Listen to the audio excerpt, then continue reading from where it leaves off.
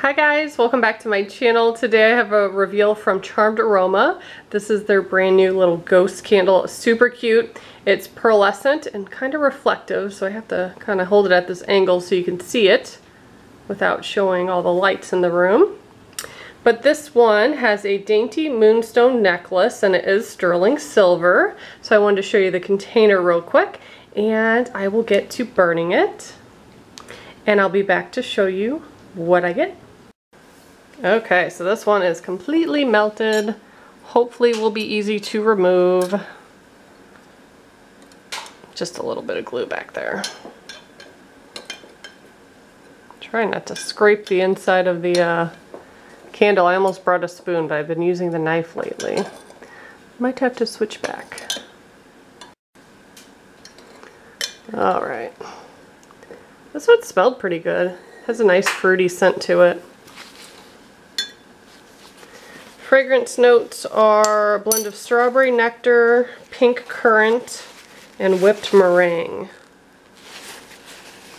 Yeah, I could definitely smell the strawberries. There's like a really sweet scent to it that I like. I'm excited to see the necklace too. You can see examples online and they're all pretty cool looking.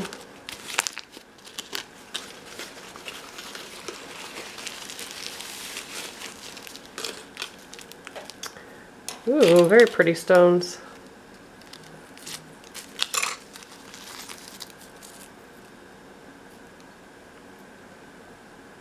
That's very pretty.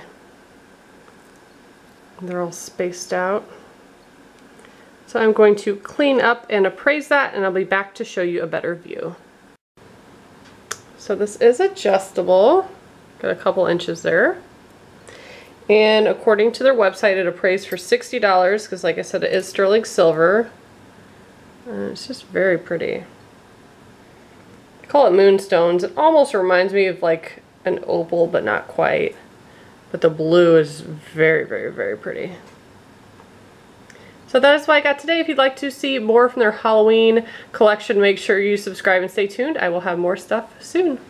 Thanks so much for watching. Bye, guys.